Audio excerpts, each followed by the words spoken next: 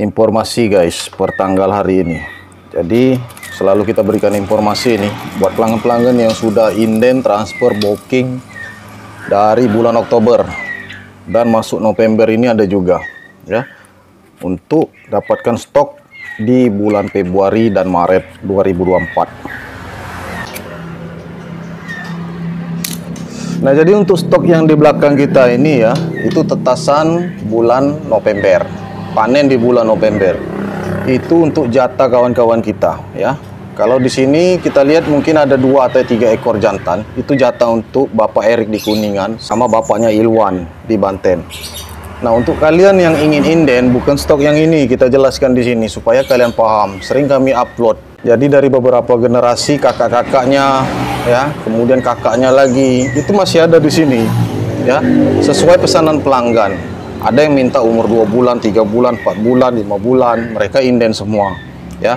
Kalau ingin dapatkan teragen B3 di peternakan kami ya. Jadi ini kan banyak kemarin itu yang masuk WA, ada ready stock nggak bang? Katanya gen B3 ya ini semuanya ready tapi ini punya teman-teman kita yang sudah intent transfer. Nggak bisa kita ganggu lagi. Mereka sudah lunas.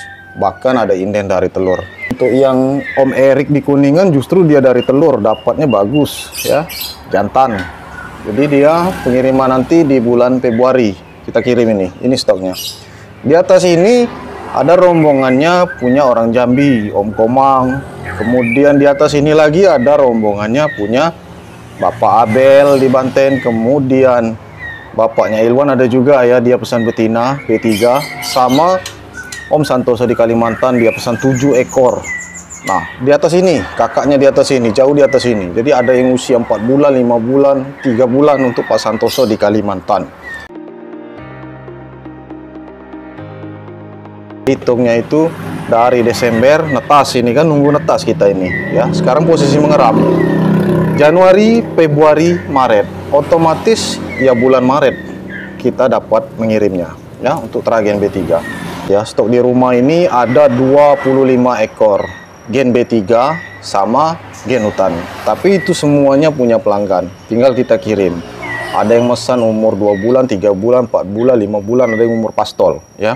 Jadi kalau kalian yang ingin inden jatahnya bukan yang ini, yang ini udah beres, sudah lunas semua ini ya. Kecuali yang betina-betina banyak nih banyak dapat betina ini buat yang ingin inden betina ini boleh nah kalau untuk yang jantannya itu kita tunggu tetasan mungkin minggu depan menetas ya. Itu saja video kita pagi hari ini. Mudah-mudahan bermanfaat. Sampai jumpa di video yang selanjutnya.